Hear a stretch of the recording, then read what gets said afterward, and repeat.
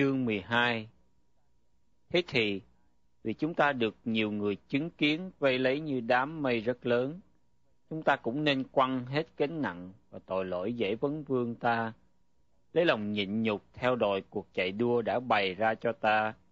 Nhìn xem Đức Chúa Giêsu là cội rễ và cuối cùng của đức tin, tức là đấng vì sự vui mừng đã đặt trước mặt mình, chịu lấy thập tự giá, khinh điều sỉ nhục và hiện nay ngồi bên hữu ngai Đức Chúa Trời.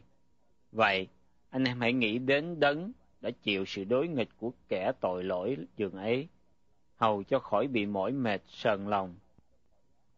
Anh em chống trả với tội ác còn chưa đến nỗi đổ huyết, lại đã quên lời khuyên anh em như khuyên con rằng, Hỡi con, chứ dễ ngươi sự sửa phạt của Chúa, và khi Chúa trách, chớ ngã lòng, vì Chúa sửa phạt kẻ Ngài yêu. Hễ ai mà Ngài nhận làm con, thì cho roi, cho vọt. Ví bằng anh em chịu sửa phạt, ấy là Đức Chúa Trời đãi anh em như con. Vì có người nào là con mà cha không sửa phạt. Nhưng nếu anh em được khỏi sự sửa phạt mà ai nấy cũng phải chịu, thì anh em là con ngoại tình, chứ không phải là con thật. Cha về phần xác sửa phạt, mà chúng ta còn kính sợ thay, huống chi cha về phần hồn, chúng ta há chẳng càng nên vân phục lắm để được sự sống sao. Vả, cha về phần xác, theo ý mình mà sửa phạt. Chúng ta tạm thời, nhưng Đức Chúa Trời vì ích cho chúng ta mà sửa phạt, để khiến chúng ta được dự phần trong sự thánh khiết Ngài.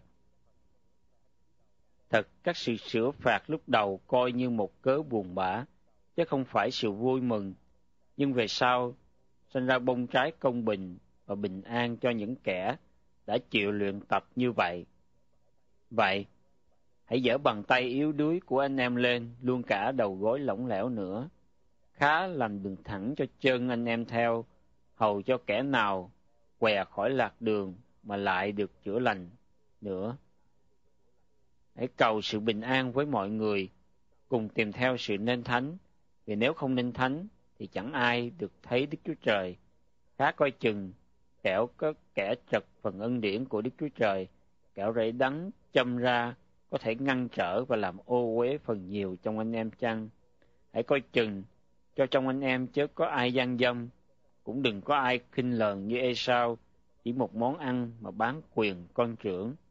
Thật vậy, anh em biết rằng, đến sau, người muốn cha mình chúc phước cho thì lại bị bỏ. Vì dẫu người khóc lóc cầu xin, cũng chẳng đổi được ý cha mình đã định rồi. Anh em chẳng tới gần một hòn núi mà người ta có thể rờ đến được.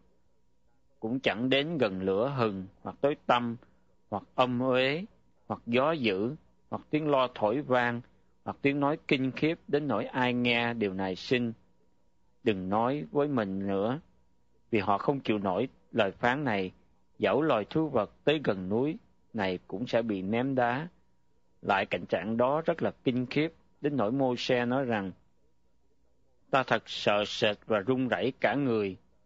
Nhưng anh em đã tới gần núi Siôn, gần thành của Đức Chúa Trời hằng sống, tức là Jerusalem trên trời, gần muôn vàng thiên sứ nhóm lại, gần hội thánh của những con trưởng được ghi tên trong các tầng trời, gần Đức Chúa Trời là quan án của mọi người, gần các linh hồn người nghĩa được vẹn lành, gần Đức Chúa Giêsu là đấng trung bảo của giao ước mới và gần huyết rưới ra. Huyết đó nói tốt hơn huyết của A-bên vậy.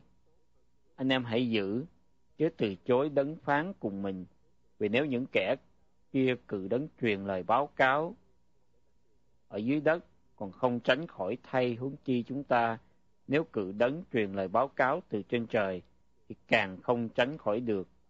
Tiếng đấng ấy bây giờ rúng động cả đất. Hiện nay phán hứa rằng, còn một lần nữa, ta sẽ chẳng những rúng động đất mà thôi, nhưng cũng rúng động trời nữa.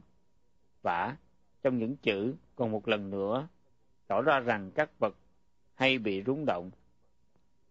Vì là những vật đã chịu dựng nên, sẽ bị cất đi, hầu cho những vật không hề rúng động được còn lại. Như vậy vì chúng ta có phần trong một nước không hay rúng động nên hãy cảm ơn hầu cho lấy lòng kính sợ hầu việc Đức Chúa Trời một cách đẹp lòng Ngài. Vì Đức Chúa Trời chúng ta là đám lửa hay thiêu đốt,